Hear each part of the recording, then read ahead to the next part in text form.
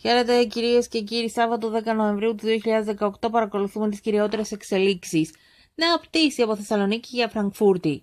Ξεκίνησαν οι εργασίες ανάπλασης της Βασιλέως Ηρακλείου. Καθυστερήσει το τελευταίο διάστημα σε εξετάσεις υποψηφίων οδηγών. Σημαντικό το έργο του κοινωνικού ιατρίου της Ιεράς Μητρόπολης Θεσσαλονίκης. Πλήθος υποψηφιωτήτων για το Δήμο Θεσσαλονίκης. Οι πολίτες σχολιάζουν. Πώς θα στολιστεί η Θεσσαλονίκη τα Χριστούγεννα, θα λουστεί με φως ολόκληρη η πόλη. Ο Νίκος Καλογερόπουλος μας μιλά αποκλειστικά για την παράσταση Γκέμα. Ευχαριστούμε πολύ για την προσοχή σας. Γεια σας.